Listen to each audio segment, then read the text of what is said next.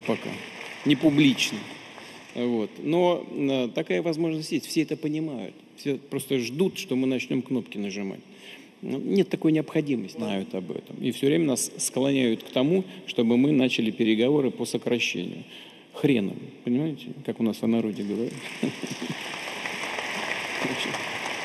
Значит, мы часть э, этого тактического ядерного оружия переместим на белорусскую территорию. Это произошло.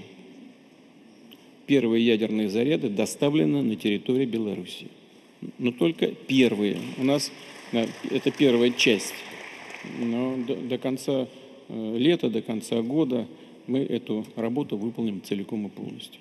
Э, но это как элемент именно сдерживания, чтобы все, кто э, задумываются о том, чтобы нанести нам стратегическое поражение, скоро Украина перестанет вообще использовать свою собственную технику. Ничего не остается.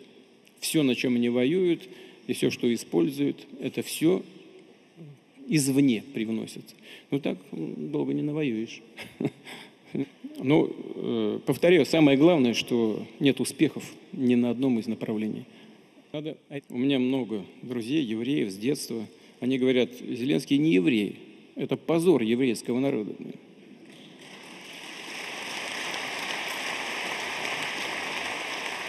И а, это не шутка, не ирония, понимаете?